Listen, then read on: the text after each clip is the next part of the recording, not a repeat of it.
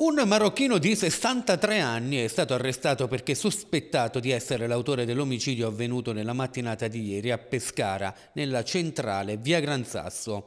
La vittima, Kokan Hossain, 44 anni, originario del Bangladesh, è stato raggiunto da almeno tre coltellate tra addome e torace. Una di queste, come si evince dai primi accertamenti medico-legali, sarebbe stata inferta al cuore. All'origine del delitto ci sarebbe una rissa scoppiata per questioni condominiali e che ha coinvolto diverse persone.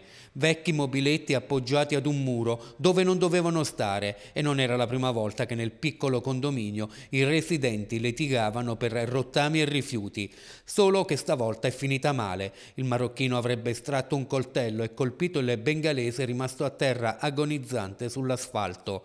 Ossain è morto poco dopo. Da tempo viveva a Pescara e lavorava in una paninoteca del centro. Lascia la moglie e quattro figli nel paese d'origine. I carabinieri del nucleo investigativo del comando provinciale hanno acquisito le registrazioni delle telecamere di sorveglianza della zona, poi hanno ascoltato i connazionali che vivono nella palazzina. In serata c'è stato il fermo del sospettato, un provvedimento precautelare che dovrà essere confermato dal vaglio processuale.